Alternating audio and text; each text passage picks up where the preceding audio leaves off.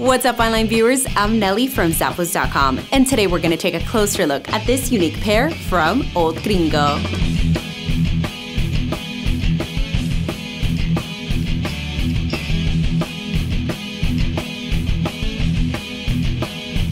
These unique boots have a handmade cowhide leather upper with metal stud accents and fringe details for added style.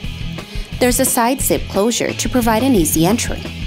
On the inside, there's soft leather lining with a lightly cushioned leather footbed that will provide comfort and support.